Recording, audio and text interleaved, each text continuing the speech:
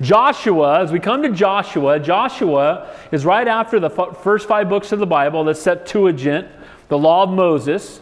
And what has happened is the children of Israel were delivered out of bondage. God used Moses to be their deliverer. He delivers them out of bondage in Egypt, and they're headed to the land of promise. And if you'll remember how God brought them out, it was through the Passover. He brought plagues upon Egypt. The last one was you had to take the blood of the lamb in the shape of a cross and put it on your on the doorpost of your home and everybody who did that the angel of death passed over and if you didn't do that the oldest person in the home would die and what happened was, as we know, you got to take the blood of the lamb. They didn't even understand the shape of a cross at that time.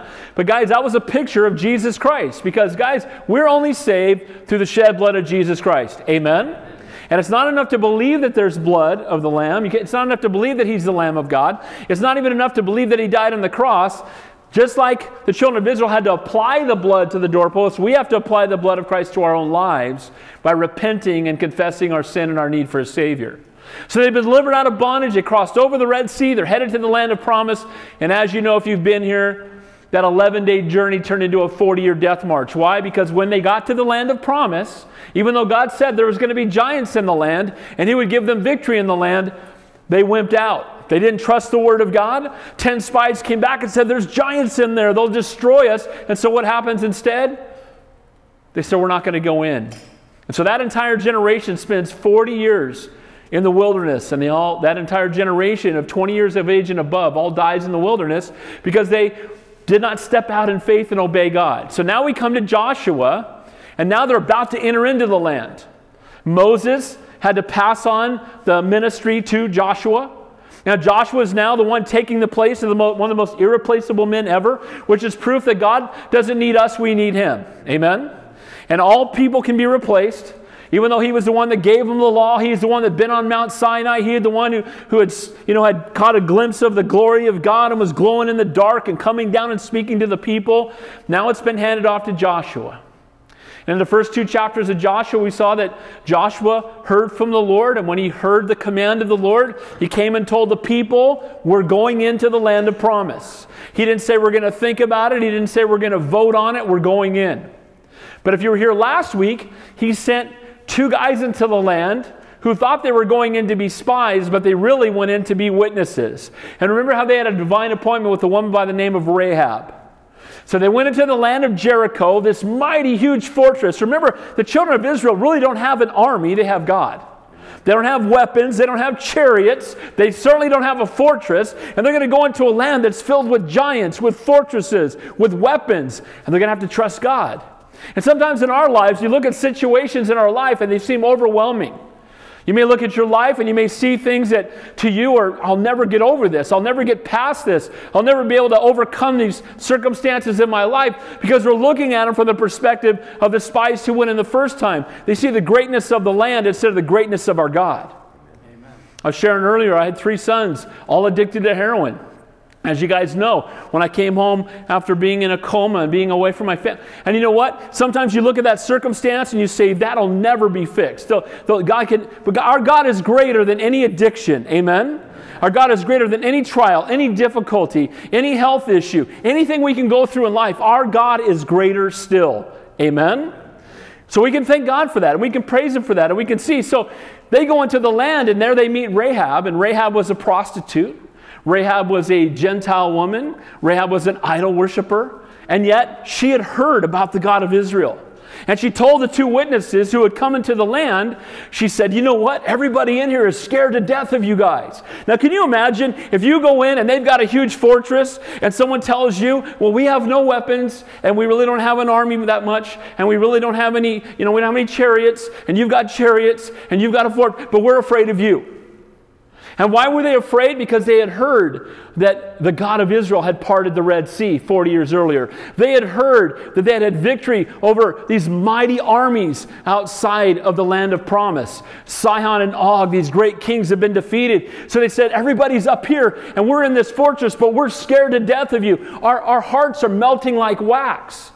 And Rahab said to the two witnesses, can, can, you, can you remember my family when you guys come back? I mean, I'll hide you from these people here. They're looking for you. I'll hide you. But just remember my family when you come back. And if you remember what, what they told Rahab to do, they said, Take a red cord, like a red rope, and hang it out of your window. And if you hang it out of your window, if you hold that red rope out of your window, then when they come into the land to destroy it, you'll be protected, you and everybody in your household. If you guys want to take, if anybody wants to head over to children's ministry, they're ready for you guys. You can do that. So, what's awesome about that picture is that in the land of Egypt, if they painted the doorposts red on each side, what happened? They were delivered from sure judgment. And now the same thing was happening. She was going to hang a red cord out of her window. And when they came up, their windows were painted, her window was painted red because she was a prostitute. And when the cord hung out, it looked like a cross. And because of that, if she, if she does that, she's going to have victory. Now, when they come back to Joshua, the two spies, they say, We went in there, and guess what? They're scared to death of us. Their hearts are melting like wax. Let's go get them. So that brings us to Joshua chapter 3.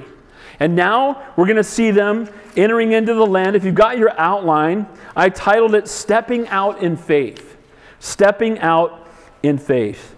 It's been said a faith that hasn't been tested is a faith that cannot be trusted. And God has called us to not only believe in Him, but have enough of a belief in Him that it produces an action in our lives. Guys, I can say that I believe that that chair will hold me up. But if I never sit down in it, I really don't have proof. I can say that I believe God is faithful, but if I don't step out in faith, if I don't step out and you know put my foot in the water before it parts, how do I know if God is really faithful? So we're going to see in stepping out in faith tonight as they're getting ready, they're going to be encamped at the bank of the river, the Jordan River that 40 years they wandered in the wilderness. Now they're back at the Jordan. They're about to go into the land of promise, all that God has for them. And they know on the other side, they've been warned by Moses, there's going to be giants there. There's going to be idols there. There's going to be difficulty there. And guys, just because we obey God and we step out in faith doesn't mean we won't face difficulty. There's going to be difficulty there, but the difference is we won't be alone. Amen? So we're going to see stepping out in faith first. We're going to see words of faith. And he's going to give instructions Joshua is, by the power of the Holy Spirit, of how to uh, have a faithful walk. And these are six practical things for everyone in the room tonight and how to have a more faithful walk with God. First, begin your day with the Lord. We'll get into these more details as we go through them. But you know what? If you begin your day with the Lord, the day's going to go a lot better. Can we say amen to that?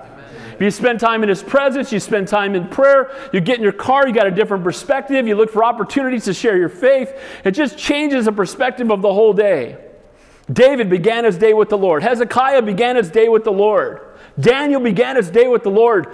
Jesus, who's Almighty God in human flesh, began the day, his day with the Father. How much more should we begin our day with the Lord? Number two, pursue God's presence.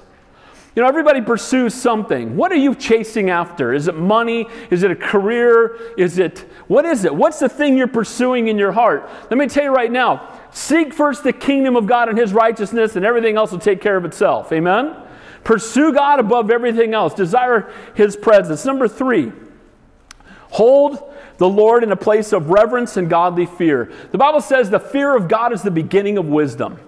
The reason that our country is in the shape it's in, our world is in the shape it's in, is not enough fear of God. Can we say amen to that? Amen. His name is used more as a curse word than a word of adoration and worship. Because we live in a place where people don't fear God. Fourthly, separate yourself from the world and unto the Lord.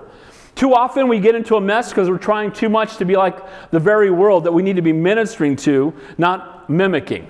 Amen? We don't need to be like the world. We're different than the world. We're set apart from the world. Today, I had a, most of you guys don't have a full time job. And I'm at a sales meeting today, and we were having lunch, and, and I'm the only believer at the table. And when people are talking about their priorities and the passions, I love these guys. I pray for them. I have a burden for them. I want to see them saved.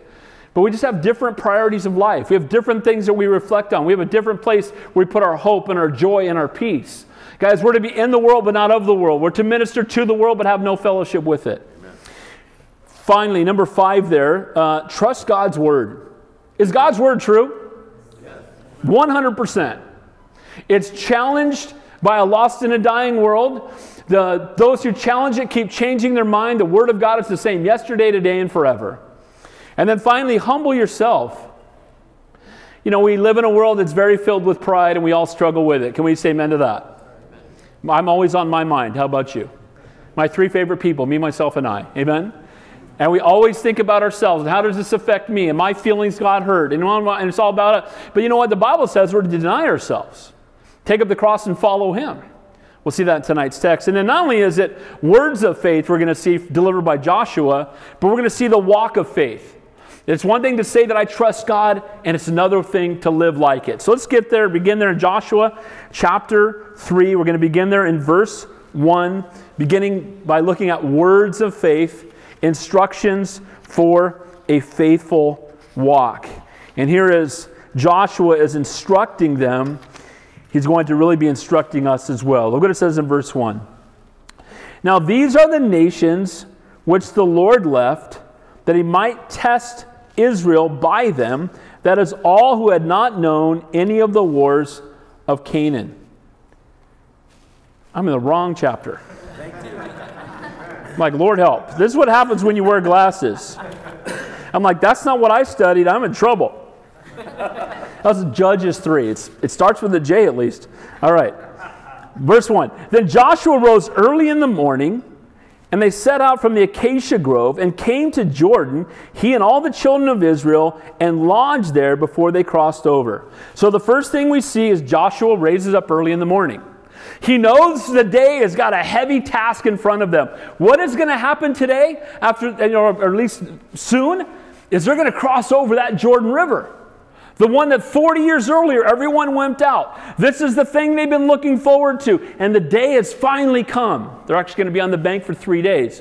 But they're going to go head over to the bank. They're going to be prepared to go in. And Joshua knew with a heavy trial in front of him, he needed to spend time with the Lord first. Can we say amen to that? Amen. Guys, if we try to do things on our own strength, we're going to fail miserably. I'm going to just do my best. I'm committing never to do that again. And then what happens? we do it again. Because if in our own strength, we cannot overcome anything. But our God is greater than any trial, any difficulty, any fortress, any enemy, any army, any, any uh, addiction, any struggle in our life. God's greater. And He can give us victory over it. But we need to spend time in His presence. We can't ignore God and then be bummed when God doesn't minister to us or God doesn't strengthen us. And so here, Joshua, knowing what's in front of them, before he does anything else, before he addresses the people, before he begins his day, he goes and gets away with the Lord.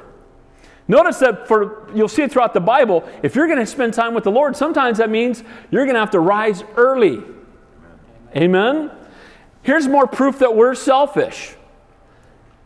We don't like to get up early. Can anybody say amen to that? How many of you have the demon of the snooze alarm problem? Hit, give me seven more minutes, you know. And we got this reality, and we hit that thing five times, and we got to spend a half an hour with the Lord. The reality is, let's begin our day with the Lord. Joshua stops and does everything he's doing. He says, I'm going to start off with hanging out with God. You know where he learned that? Watching Moses. Amen? He was at the foot of the mountain when Moses went up to the top of the mountain. He knew that the strength and the power and the faith that Moses had came from his intimate walk with God. So he was going to mimic that and spend time with the Lord himself. Now, notice what he does. They set out from the acacia grove and came to the Jordan. So they go out to the Jordan River, and there, I want to give you the picture. Now, I've been to the Jordan River in Israel, and the river in, in the Jordan today is nothing like it was back then. Back then, it was almost a mile across. So they're going to come to this river. Now remember, the children of Israel is two to three million people. This isn't four friends on a camp out taking a swim. This is two to three. There's women and children. And, and uh, you know, and people are all there. And here they are. And, you know, oh, man, we're going to cross how are we going to get two to three million people across this river and knowing that when we get to the other side, there's giants waiting for us? Maybe they'll ambush us when we get there. How do we know we're even going to get across? One person who's a good swimmer, swimming a mile, I could do that. Two to three million people with women and children. Oh man, that's a deal. So, guess what's going to happen? They're going to camp out on the bank of the river and be staring at the obstacle, as we're going to see, for three days. And most people, if you stare at an obstacle long enough, it just makes you more afraid. Amen? Oh man, look at that. Oh man, I got that test coming up. Oh no, what am I going to do? And we just get overwhelmed. But you know what? God allows us to see the obstacle in front of us so that we will see the greatness of our God when He brings us through it. Amen? God, our obstacles are only great if our God is small. So He brings them to the bank of the Jordan River. After spending the morning with the Lord, he's been strengthened, he's been refreshed by spending time with God.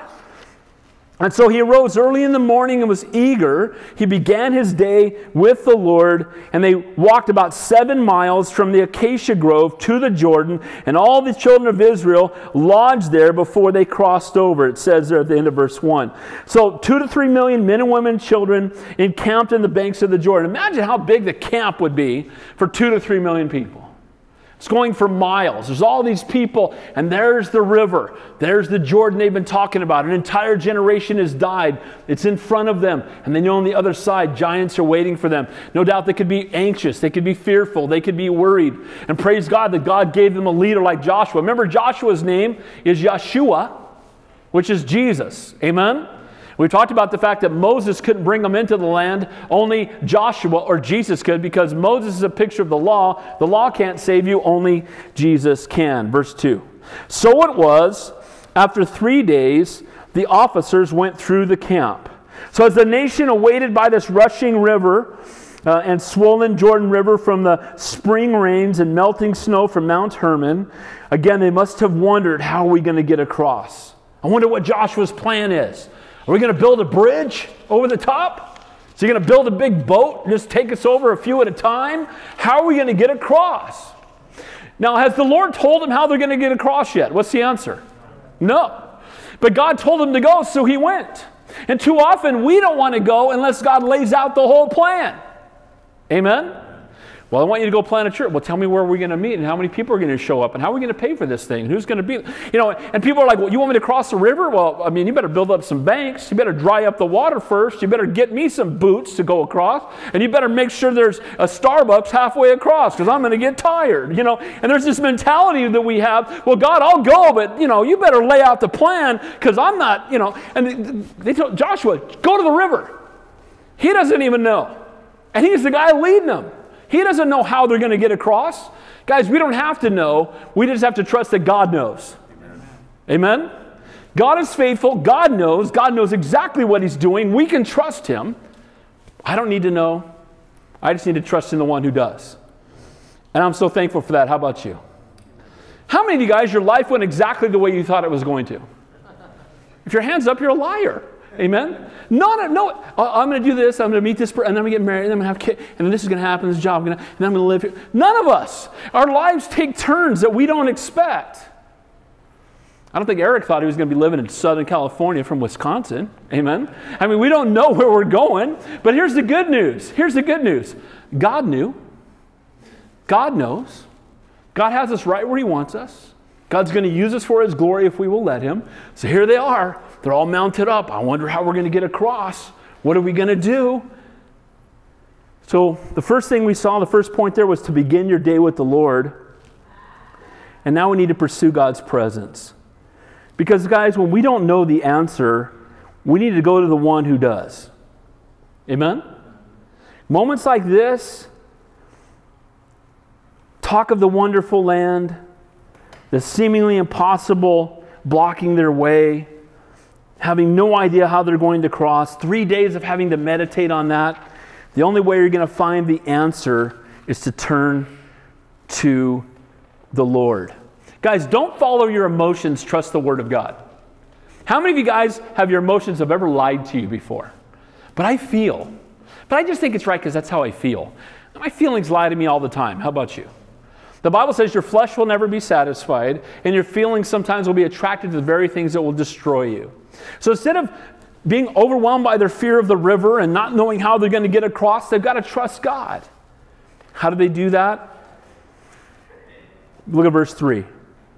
And they commanded the people, saying, When you see the ark of the covenant of the Lord your God, and the priests and the Levites bearing it, then you shall set out from your place and go after it.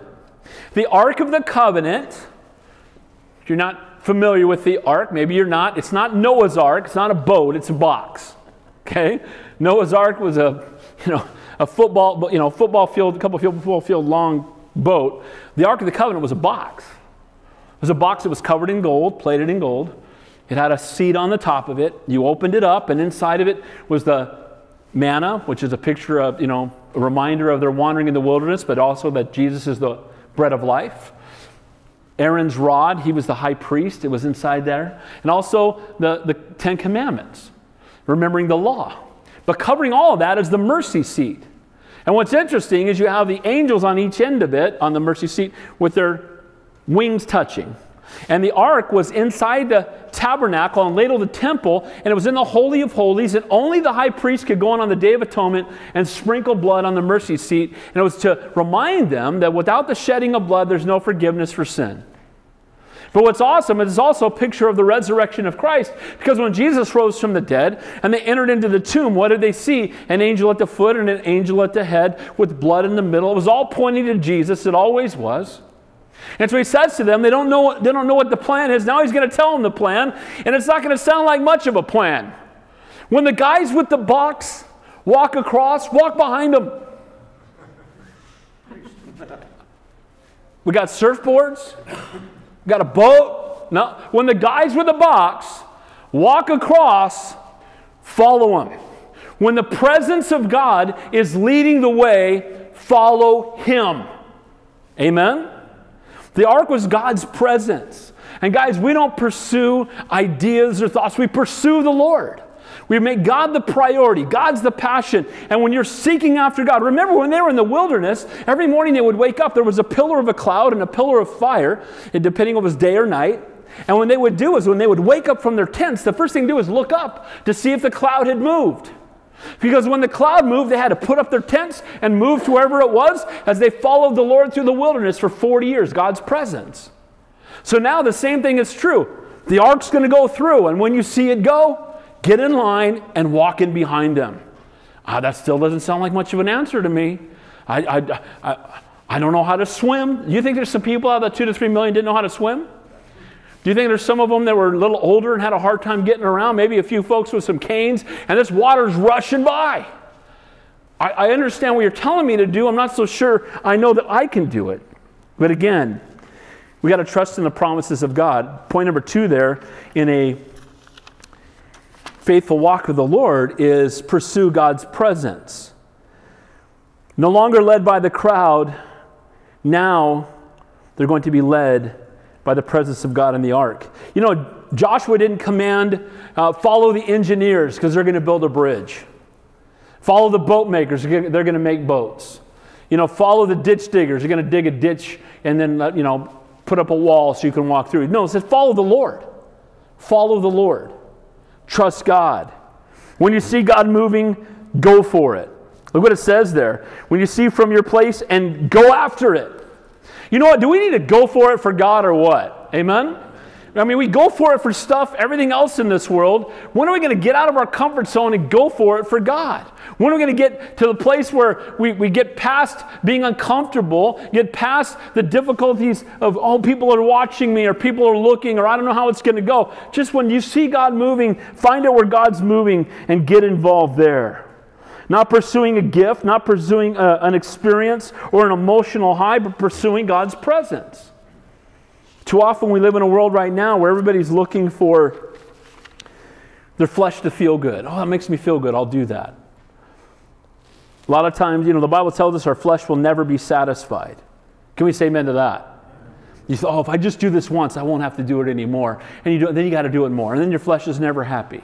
It's never enough money, never enough women, never enough careers, never enough, you know, whatever, drugs, alcohol, whatever. Whatever you're pursuing, no, there's nothing that will satisfy. There's a God shaped vacuum that only He can fill, and nothing else can fill that hole.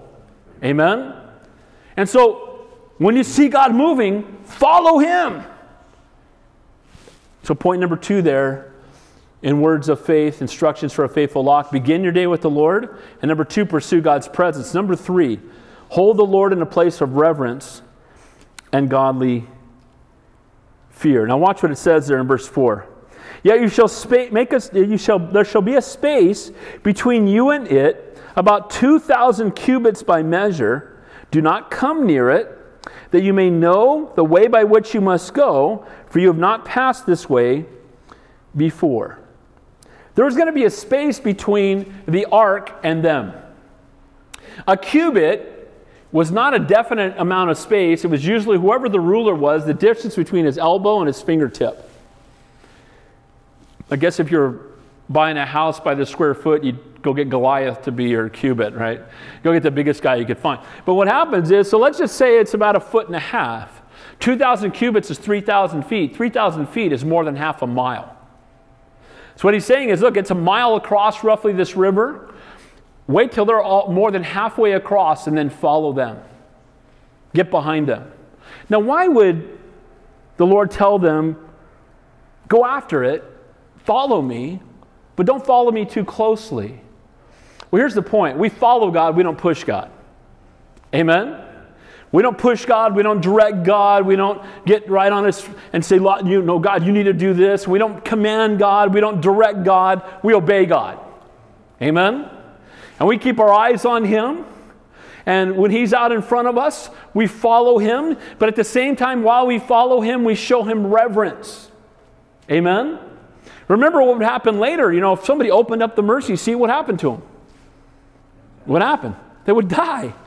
Somebody, they were carrying the ark on poles. They didn't even touch it. If they touched it, it was a presence of God. They would die. So he's saying, look, follow me, but have reverence for me. Honor me. And so he says, look, they're going to be a half a mile out, and when you see them out in the middle of the water, you get you step out and get in the water behind them. You don't push God, you follow God. You trust God. He's a faithful God. Keep your eyes on him, but have a holy reverence for him. So the ark is out in front, leading the way. Again, the Lord leads us. We don't lead him. Uh, be careful when you pray, don't make commands of God. Amen. God, you need to do this. God doesn't need to do anything. We need Him. Amen. We don't. Aren't you glad that God doesn't just listen to everything everybody tells Him to do? What a train wreck the world would be. Amen. No, we follow Him, and we follow Him with reverence, and we treat Him with honor that is due His name. And so keep your eyes on Him, and also made sure that they kept their eyes. He's in a distance, but I'm going to keep my eyes, and I'm going to follow Him. I'm going to be faithful. Israel is going to accomplish this impossible task as they set their eyes on God's presence and follow Him with a heart of reverence and holy fear. So, so point number three of a faithful walk hold the Lord in a place of reverence and godly fear. Verse 5. And Joshua said to the people, Sanctify yourselves, for tomorrow the Lord will do wonders among you. The word sanctify means to consecrate or set yourself apart unto the Lord. Wash yourselves, wash your garments, separate themselves from all the worldly things. Again, make spiritual, not, not military preparation. Look, they're getting ready to go walk into a land filled with giants. He didn't say, go back and do some training with your, you know, with your spears, if they even had any. Go back and train up with your swords. Didn't do that. He says, you know what I want you to do? I want you to go spend time with the Lord. And I want you to set yourself apart unto Him. And I want you to spend time in His presence in preparation for watching what God is about to do. Guys, if we want to be used mightily by God, we have to spend time in the presence of God. Amen? I can't give what I haven't received. Amen? If I don't hear from Him, if I don't spend time in His presence, if I don't spend time talking to the Lord, hearing from His Word, praising His name, how in the world am I going to minister to anybody else? And that's why the world is in the mess that it's in, is people are listening to people that are just giving ungodly counsel from their own hearts. Guys, they were emptying themselves of themselves and being filled instead with God's perfect will and plan. Being less of me and more of Him. John the Baptist would say, right? I must decrease that He might increase. There's only room for one person on the throne of your life. It's either the Lord or it's you. And if you're on the throne, you know it and how's that working out for you? Amen? So, step number four to a more faithful walk separate yourself from the world and unto the Lord. He said, Go consecrate yourselves, go sanctify yourselves. I also love Joshua's confidence. Tomorrow, it's going to happen. Not a week from Friday, not in six months, tomorrow. We're going to see the hand of God tomorrow. That's called faith. Amen? It's not seeing and then believing, it's believing and then seeing. God is greater. God's going to get us across. I still don't know how. I just know when the ark goes, we follow. How are we going to get people across this rushing river? I have no idea. I just know God said He would, so I trust Him. I look at my bank account. I have no idea how God's going to provide, but I know that He will because He's faithful. I've got this, I don't know how I'm, God's going to give me victory over this struggle in my life, but God said He can. And what? I trust Him. Guys need to learn to trust God even when we don't understand. The next point is trust God's word. Look at verse 6. Then Joshua spoke to the priest, saying, Take up the ark of the covenant and cross over before the people. So they took up the ark of the covenant and went before the people. It's easy just to read that, but he went to them. It's hard enough getting across the river when you're walking or trying to swim. How about carrying a big, heavy golden box that if it falls over and touches you, will kill you? How's that working out? Wait a minute, you want me to get in first? Can I see what someone else does? We don't even know how deep it is. Send someone else, send a tall guy out first. Let's see how deep it is. Send somebody else. No, he said, You guys are going first. You're the spiritual leaders here, the Levites. Grab a hold of the ark by the way, don't let that thing tip over, you're toast. And walk out there carrying this big heavy ark with poles across a rushing river and trust God because He said, if you will do that, He will bring you to the other side. Now, it's one thing to say, I trust God, and it's another thing to act like it. You've all probably heard the illustration. It's a true story. A guy would, you know, Niagara Falls, he would walk across a tightrope over Niagara Falls, back and forth. And there's a crowd watching, and they're all cheering for him. Yeah. And they're like, You think I can do it, you know, with a wheelbarrow? And they're like, Yeah, yeah, we all believe it. Yeah. And he pulls a wheelbarrow out and he goes, You all believe it? We believe it. He's like, Okay, who wants to get in the wheelbarrow? oh, not so much. It's easy to believe he can get over the wheelbarrow with you in it, but you're not putting me in the wheelbarrow. You know, faith is when you say, Put me in. I trust that you'll get across to the other side and back on a tightrope with me in a wheelbarrow. Guys, he commands them to step out by faith. It's one thing to say we believe it, and it's another thing to act like it. Faith is not to be a passive feeling, but an active force. Didn't have any of the details yet, but he's still faithful to deliver God's word because he knew God was faithful. Abraham believed God and went out not knowing where he was going. And look what God did. Moses believed God and defied the gods of Egypt and led the Jewish people to freedom. Gideon believed God and led a small band of Jews to defeat the huge Midianite army. Nice. God's desire is that we would step out in faith, that we would be unashamed, of the gospel of Christ and that we would trust Him even when we don't fully understand. People think because I'm a pastor, like I have every Bible answer that there is. I get calls, well, you're a pastor. And they'll tell me, oh, you know in Ezekiel chapter 7, verse 9, you know what that says, right? No. I have not memorized the Bible. Contrary to what most people might believe, I have not memorized the Bible. And there's an expectation that you know everything. Guys, I don't know everything, but here's what I do know. I know that God is faithful. I know that God is in control. I know that He loves me. I know that I can trust Him. And you know what? I'm going to follow Him with my whole heart. That's what I know. Amen? Amen? And sometimes, well, I, well, doesn't it bother you that you don't know? No, it would bother me if I knew everything because then that would mean God's not that smart. Because I'm not that smart. I'm glad that God is so much greater than I can possibly grasp. Can you say amen to that? But I trust Him. My hope's in Him. My hope's not in the economy, it's not in my bank account, it's not in my strength, it's in the power of Almighty God. And He's saying, Look, trust God, trust His Word, trust His commands, believe Him. And believe Him enough, not just to say, I believe it, but to have actions that prove you believe it. Look at how verse 7 and 8. And the Lord said to Joshua, This day I will begin to exalt you in the sight of all Israel, that they may know that, as I was with Moses, I will be with you. You shall command the priests who bear the ark of the covenant, saying, When you have come to the edge of the Jordan, you shall stand in the Jordan. Joshua is going to do the miraculous the same way Moses did. Moses was able to free, by the grace of God, he was just tool in the hand of the master. Three million people had been in bondage for over 400 years. How did he do that? He trusted God when it didn't make sense. Remember, Moses was going back to his hometown.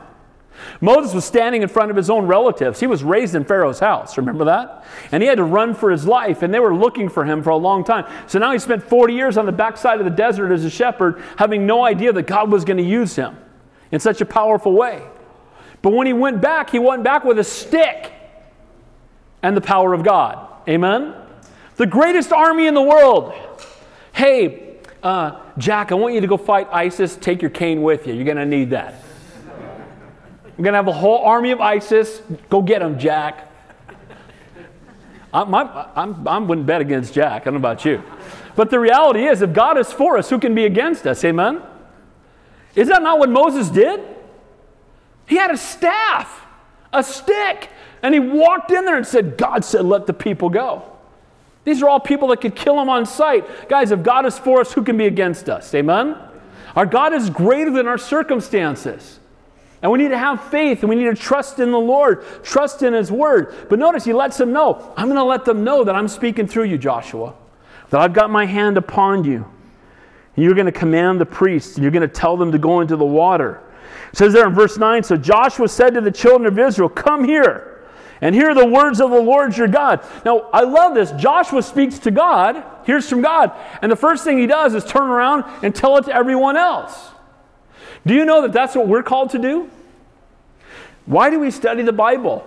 We study it so it'll transform us, but we also study it so we can tell others. Amen? This is the antidote to the death serum of sin. Amen? If you didn't know it, one out of every one person dies. Amen? Did my uncle's funeral a week and a half ago, and now I'm going to my nephew's wedding. There it is, life, right? But here's the reality we're all going to die. We're all going to stand before Almighty God one day. And when we do, the only thing that will matter is what have you done with God's Son? Nothing else will matter. Who are you in Christ? What kind of relationship do you have with the Lord? And the only way we can have faith is to know the Word of God. Faith comes by hearing, and hearing by the Word of God. Romans 10 17. So if you want to have a greater faith, spend more time in the Word of God. Well, I don't have much faith. How much time you spending in the Bible? Well, not much. Well, there you go. Amen. I really have not met anybody that spends a lot of time in God's Word that doesn't have a lot of faith. And, I've, and, I've, and I've never met people with a lot of faith that don't spend time in God's Word. Amen? These two things go together. And so they need to trust the Word of God. So Joshua hears the Word of God and he walks out to the two to three million people who could have said, You're not Moses. You're no Moses. Who are you to talk to us? Joshua goes out and speaks the Word of God with boldness. Not going to apologize for it, he's going to preach it. And I appreciate his heart. He's faithful. He's a man that God's going to use. When we're obedient, God is glorified and we get blessed. And Joshua, by faith, uh, still not fully understanding, delivered God's command to the priest. It made no sense. He trusted God anyway. He could have faith, faithlessly thought he was putting the ark into the harm's way. He could have said, Oh man, if we put the ark out there and the water knocks it over, then what are we going to. God's word said. God commanded us.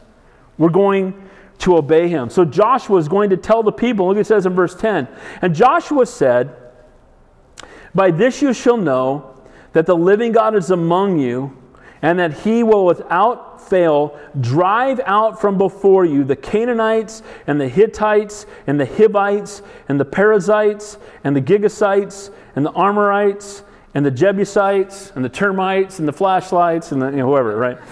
All the people in the land, no matter who they are, he says, You're going to know that I'm going to give you victory in that battle because you're going to see me move when you step into the river. Does God allow us to go through difficulty and then show up so that when then we know that when the greater difficulty comes, we can trust He's going to show up again? Amen? Again, a faith that hasn't been tested is a faith that cannot be trusted. And it's when we, when we see God show up in a smaller thing, it gives us faith in an even greater thing. But too often, people, their faith never grows because they never step in the river. Amen? They're over on the side. Dude, when you build a boat, when you build when you get a boat over here, I'll go. Build a, build a bridge or something, then you come back and talk to me. Until then, I'm camping out over here. We know that two and a half of the tribes of Israel decided to do that, right? Didn't enter into the land of promise. Why? Well, it's just it's easier here. It's easier here. Guys, obeying God is not always easy. Doing what is right is rarely easy, and doing what is easy is rarely right. Amen? But doing what is right and what is godly is always worth it. Joshua tells the people that by the miraculous work they're about to witness, that it's going to serve as proof that God is with them and they can trust Him in the even greater trials that were about to take place. Point number six to a more faithful walk is to humble ourselves before the Lord. Guys, we need to humble ourselves because if we think that we are something, we'll cease to be desperate for God. And some of us in this room, might, and we all probably go through this at times, we get mad at God sometimes or we don't understand, or we get angry with God, and we wonder why God allows difficulty in our life. Let me tell you why He does. Because He loves you, and He wants to conform you more into the image of His Son, and He wants to keep you in a place where you have to be desperate for Him. We all have, all of us probably at some point in our life have dealt with that. Can we say amen to that? Well, we just don't understand, and we, we, we question God, and we go, Well, God, why is this happening? Well, we all go through that at times. And we all are going, Well, I don't understand. Guys, just remember that He loves you Remember that He knows what's best for you, and He will even allow the difficult things in your life so you might become more like His Son and your faith will grow. Look, I was pastoring a church in Santa Cruz that I thought I was going to pastor for the rest of my life. God was blessing it. We had moved to a new facility. My kids were all walking with the Lord. It was the best time of my life spiritually. My family was blessed. I had a good job. Everything was wonderful. And out of seemingly out of nowhere, I have chest pains. We think it's a heart attack. I go to the doctor. It's not a heart attack. It's gallstones. It's going to be a minor surgery. Whoops, punctured bowel pancreas, made you septic, put you in a coma. And then from there, just all the things that came after that. And it would have been so easy to be mad at God. Why? Well, God, everything was so great. Why would you let that happen? And the reality is, the question's never why God, but what God. It's not why did you let this happen, but Lord, what do you want to teach me? How do you want to use this for your glory? Amen? Because I never doubted that God loves me. I know He does. I'm His son. He loves me. So if He allowed this to happen, it's because He loves me. Can we say amen? Well, here the children of Israel are. They're like, why are you putting us through this? Why do we have to cross this? Because I want you to learn to trust me. I want you to see the impossible. You know, the generation before got to see the Red Sea part, they're going to get to see the Jordan River part. The parents saw the Red Sea part and were faithless. They're going to get to see the Jordan River part, and they're going to be called to be faithful. Guys, we don't get to see the power of God unless we're put into impossible circumstances first. I can't get out of this. I got no hope. I got no way. They're backed up against the Red Sea, mountain on this side, mountain on that side. Egyptian army coming after them. Oh no! Moses, hold up your staff. River parts. Now, the next generation, get in the water, walk across. Three million. Man, it's hard to get, you know, my grandchildren through Fantasyland at Disneyland. And there's four of them. You know, get, how do we get them across to the others? There's five of them now. How we get, right? Can you imagine getting two to three million people across the river? What does that look like? How deep are they lining up? I mean, they're lining for miles. Now we trust God. It's going to happen. Let's go do this. Let's put our faith in the Lord. Let's humble ourselves. Let's believe Him. Verse 11 Behold, the ark of the covenant of the Lord of all the earth is crossing over before you into the Jordan. Isn't it good to know that God goes before you? Amen? Amen? I'm just walking behind Him. You know, I, I don't, you know, I think all men and women to some degree have some level of bravery, but I probably wouldn't step out in front of, you know, the uh, Philistine army with an 11 foot, 750 pound giant, uh, Goliath. and everybody else, their whole army stacked up behind him, and go out there with a slingshot? Yeah, probably not. But if I know that God's going before me, I'll walk right behind him all day. How about you? Amen? You know, you're fighting Goliath. Yep, uh, by the way, I'm with him. Alpha and Omega created the universe, put stars in the sky. Created you, by the way. Amen. I'm hanging out with him. If you know, if you're with the Lord, I can do all things through Christ who strengthens me. Amen. In your own strength, you fail. And so he says, "Look, we're going across. We're going to trust the Lord. By the way, the Lord's going in front of you. Yay, God! Let me just walk behind you, Lord. You know, that's my prayer for my life. I hope it's a prayer for yours. I just want to walk right behind the Lord. Amen? Lord, wherever you lead, I'll, I'll go. You want to turn right or left where I didn't expect it? It's okay. I just want to follow you. I want, I want to be right behind you. I want to follow your glory. I want to keep my eyes on you. I don't want to trust in myself. I want to trust in you. So he lets them know the Lord is going before you. Look at verse 12. Now, therefore, take for yourselves 12 men from the tribes of Israel, one man from every tribe. And it shall come to pass, as soon as the soles of the feet of the priests who bear the ark of the Lord, the Lord of all the earth, shall rest in the waters of the Jordan, the waters of the Jordan shall be cut off, and the waters that come down from upstream, they shall stand as a heap. Now they finally get the plan. But it doesn't happen until they faithfully have lined up to go. They're stepping out in faith, they're going to trust God. And now that they're there, he says, as soon as you put your feet in the water, it's all going to stop. It's going to dry up. You're going to walk across on dry land. Oh, that sounds pretty good. I wish I'd known that before. No, you need to get here first. Amen? Now, that being said, they're still on the bank. The river's still rushing, and they've been told when you put your feet in, it's going to stop. Really? Does that not sound kind of impossible? You know, with our God, all things are possible. Amen? And we need to come to a place where we trust God to do the impossible. But you know what? The Jordan River is not going to part till they put their feet in the water. Amen? And here's the problem with a lot of believers today, and it could be all of us. We never put our foot in the water, so we never get to see the river part. We never step out in faith, so we never get to see God do great and awesome works. We sit back on the sidelines, satisfied with saved souls, but living wasted lives. And my prayer is that, guys, I want to go for it for God. Amen? I want to be in the center of His will. I want to, I mean, I got a vapor of time to be about it. Let's be about it for the kingdom of God. Let's not live in such a way that we're missing out on all God has for us. As soon as the soles of the feet of the priests, the impossible problems in their way, are not seen as an oppressive trial, but as a glorious opportunity for God to work. See, here's the thing when they looked at the river, they saw a trial. When God looks at it, He looks at an opportunity for them to show them His power. Amen? So when I look you know, when I look at my circumstances of life, or you look at yours, all the difficult things we've been through, sometimes we look and we're overwhelmed by it. And we may think, oh man, this looks like a difficult obstacle. God says, no, no, no. That's how I'm going to show you my power and my glory and how much I love you. Amen? Amen? My most desperate prayer came during the time all three of my boys were addicted to drugs. Most of you guys know I had to do CPR on one of my sons in my kitchen, talking to 911, thinking I'm going to do his funeral. And by the grace of God, after several minutes of doing CPR, my son woke up. Went back to rehab, and two days later, bolted from rehab again. I laid in my floor in my bedroom and cried out to God with all my heart, Please, Lord, protect him. Please, Lord, help me find him.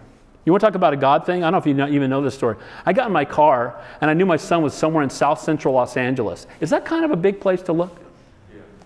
I get in my car, I drive down there. For some reason, I get on the 10 freeway, I cut across, I get off a freeway off ramp, praying, please, Lord, help me find him. This seems impossible. I get off the off ramp. When I get to the end of the off ramp, who's standing there holding a sign asking for money? My son. There's only 11 million people in LA. God thing. Amen? And when I pulled up, I looked at my son, I go, hey, son. You know, amen? Get in the car. amen? But the point is this it's when we go through difficulty that it makes us desperate. And when we're desperate, that's when we're hanging on to God with both hands. Amen? Heard me use a Psalm 23 analogy when we're laying down in green pastures. Where's the shepherd? He's around here somewhere. When you're walking through the valley of the shadow of death, you're hanging on to him with both hands and stepping one step behind him. And he's saying, Look, I want you to follow me when I cross this difficult river. But I've put this here. Did there even need to be a river there? But there is. Why? Because God wants to teach them to trust him. If they think it's an obstacle, he says, Oh, no, no. It's an opportunity for me to show you my glory. I want you to see how great of a God I am. I want you to see that I'm on your side. I want you to see how powerful I am. Guys, if we're on the cruise ship to heaven and we never have any trials in life and there's never any difficulty and we're never treated unfairly and we never go through stuff and be, you know, guys, we never have to trust God. If the bank account's always full and the health's always perfect, we're never desperate for God. And so when we pray for people that are struggling, sometimes I pray, Lord, why did this all three of my sons? Do whatever it takes to get their attention. My oldest son was the one living on the street for four years, kept doing drugs, and would not go to rehab. And I prayed every night, Lord, do whatever it takes. He got arrested. Thank you, Jesus, for getting arrested. Amen? Nothing better than county jail rehab tough. You're going. Amen? And praise God. Sober. Praise God. Lord, do whatever you got to do. Amen? And I don't want to just pray that for others, I want to pray that for me. Amen? Lord, do whatever you got to do. If I need to lose my job to have more, okay. Lord, if I need to go through it, Lord, it's okay, because my ultimate desire is to be more like your son. And whatever that's going to take, bring it. Amen? It's easy to pray that. But how you, are you still smiling when it comes? I prayed for it, but I didn't think it was going to be this bad. Amen. I, you guys know me. I've never, I was so straight edge in high school, everybody made fun of me. I played college football. I go to football. I barely went to football. When I went, I'd be drinking half and half because I was trying to gain weight all the time. Everybody's getting lit. I'm the straight edge guy in the room. I've, I do not even know what it's I've never done a drug in my life, and I've got a drug ministry. How come? Because I love my boys. And God allowed it to do a work in me and to do a work in them. Amen? And when you go through trials, remember this no suffering is wasted. Amen? When you go through difficulty, God's using that to prepare you to go from being a ministry to a minister. Amen? I tell my boys all the time, guys, I know when you're growing, when you cease to be a ministry, and you start taking what you've been through to minister to somebody else. Everybody in here, we've all been through difficulties and trials, and there are going to be people coming right behind us going through the same thing, and we can turn around and tell them how God delivered us and how He can deliver them. Amen? Well, here's what's happening this generation, they're going to step in the water, and when they do, step in behind them, and here the priests are. He said, when we touch it, it's going to part. They didn't just say, well, part first. just open up a little bit. Give me a foot's worth or something. That's not what happened. They had to step out and trust God. Amen? Amen. Step out. Trust me. Watch what God will do. When you step in, then it will part. Again, the potential fear is what if it doesn't? What if the ark washes away? What if I make a fool of myself? The temptation would be let me just stay here where it's safe. I'm good right here. I'm on the bank. It's safe here. Stay dry. Never into the land of promise. The choice for you and I is to step out in faith and see God work, experience God's highest, uh, enter into His promise, or remain on the banks.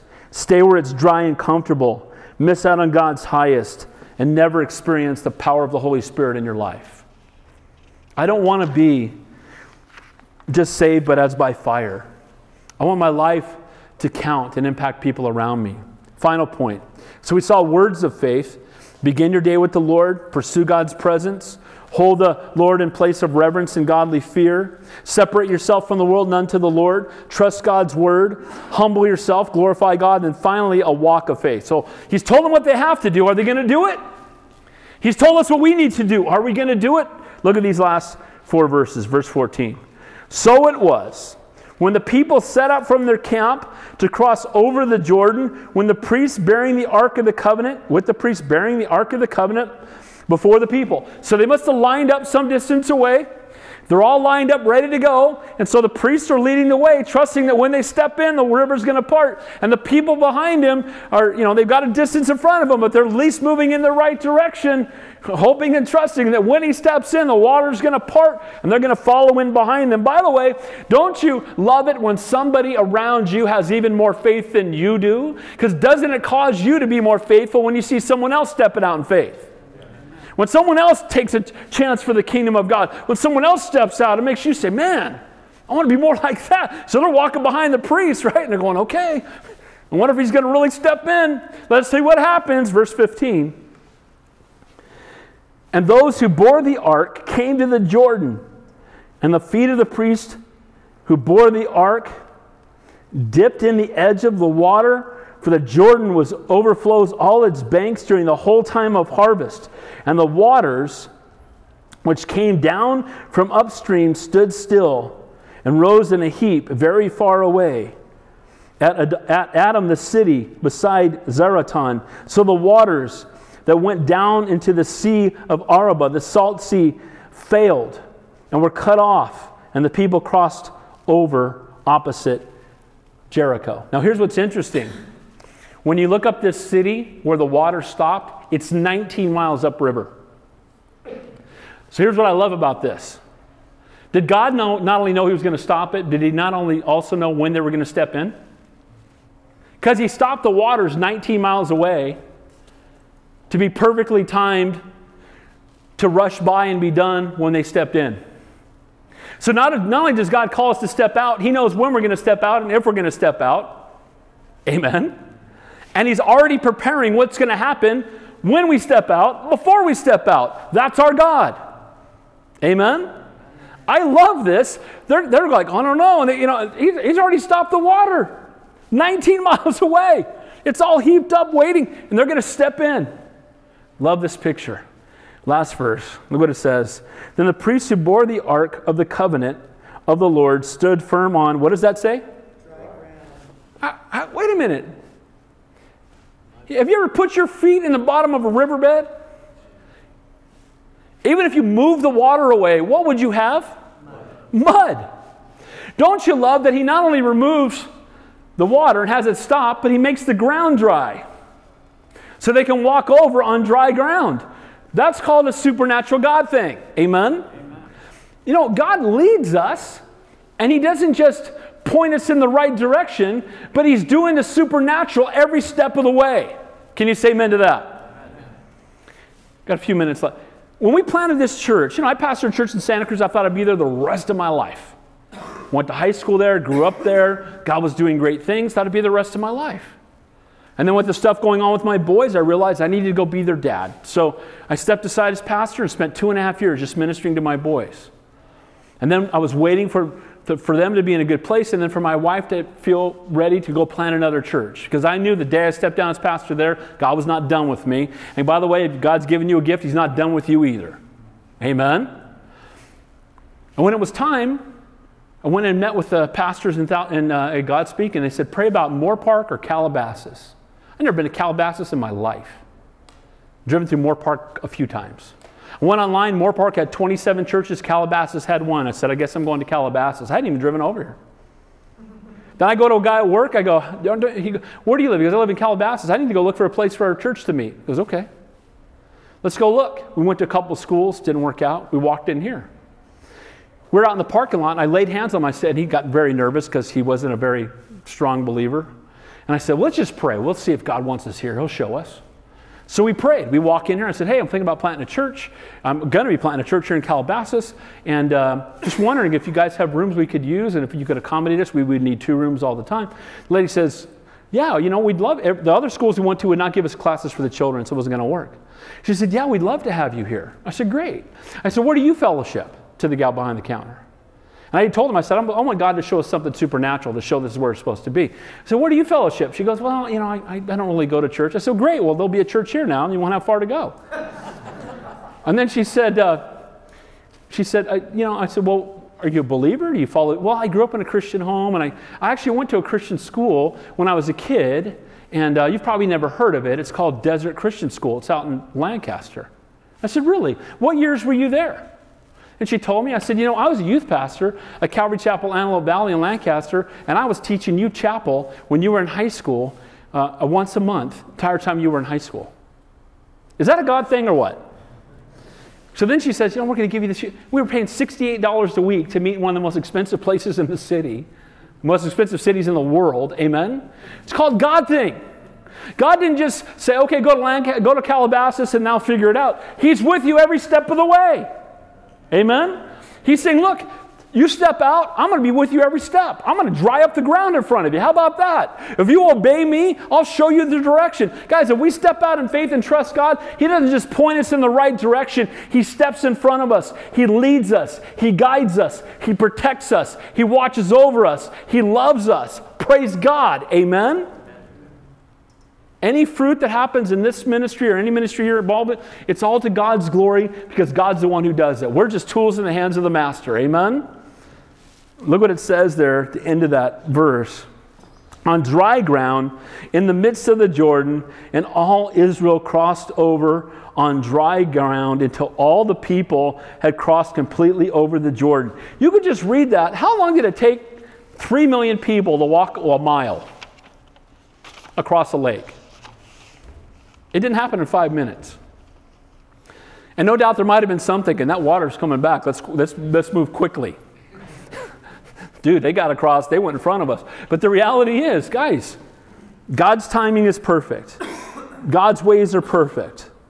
They weren't stepping in a wading pool, but the rushing river of God's Holy Spirit. Now, here's what's interesting. In John chapter 7, it says this Jesus stood and cried out, saying, If anyone thirsts, let him come to me and drink. And he who believes in me, as the scripture has said, out of his heart will flow rivers of living water. You know what else is interesting? As they're heading into the land of promise and going into the ministry God has for them, where did Jesus' public ministry begin?